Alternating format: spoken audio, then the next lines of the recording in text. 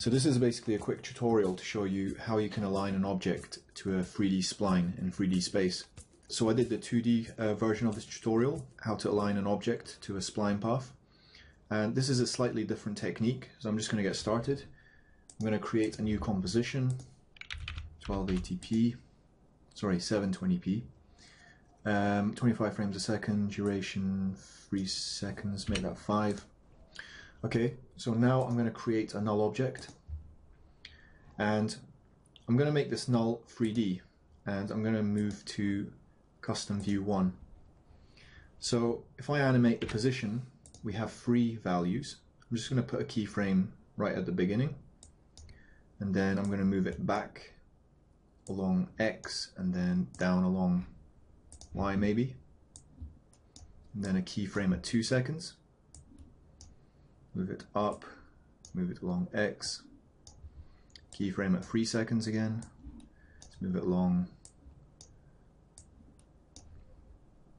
Up and down, 4 seconds, just add another keyframe, push it back a bit, and one last keyframe.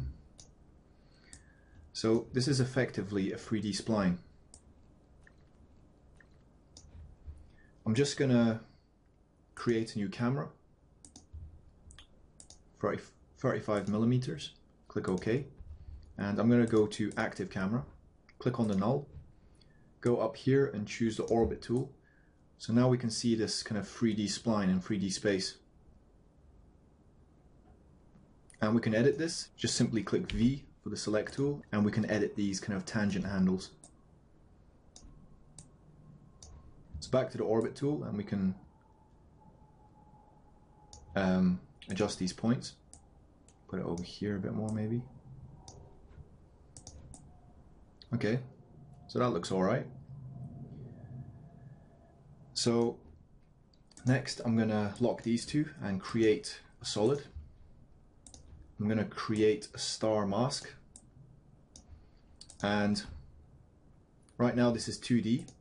I'm just gonna click Y to bring up the anchor point tool, put it towards the center hit V for the select tool. Now I want this star to follow the null path in 3D space. So I'm just going to call this star. I'm going to open up the null position, star position, hit P, and then I'm going to alt click the stopwatch. And then I'm going to use this pick whip tool and link it to the null position. And that should snap right to it. The problem is uh, we didn't make this 3D, so I need to start again. I'm just going to get rid of that expression. Go back to the star and check this box here to make it 3D. Now I'm just going to do that again, Alt stopwatch click position and link it to the null position. And now it's matching the null. So one thing you'll notice is it kind of looks like flat, like cardboard. You might want it to have a more kind of 3D look. So Another cool thing we can do is we can basically click on the star, go to layer, transform, and then auto orient. We have a few more options here. So we can orient along path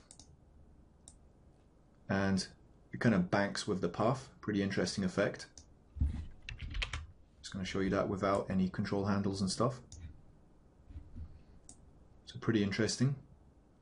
And we can also choose layer transform auto orient towards camera. So it's always pretty much facing the camera. And this is I guess a more 3D kind of look. Looks like it's really going into the distance.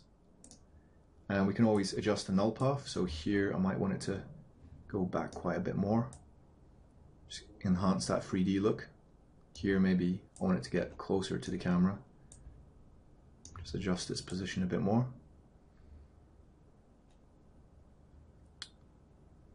and we can see if we just click the null we can see that spline path. Control shift H to hide all the handles and uh, transform gizmos.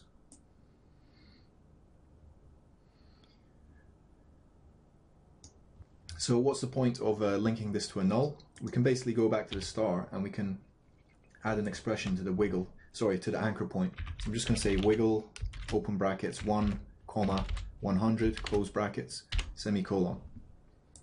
So it's uh, following the null and it's got its own wiggle as well.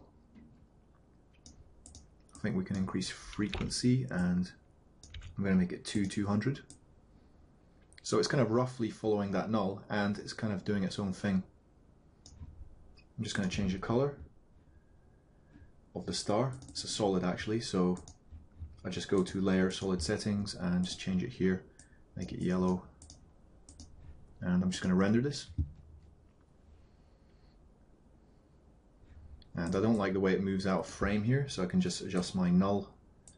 Just bring that in here, maybe up a bit. Just play that back again. And we've got this pretty cool uh, 3D looking animation. So that's the end of this tutorial. As usual, please share this and thanks for watching.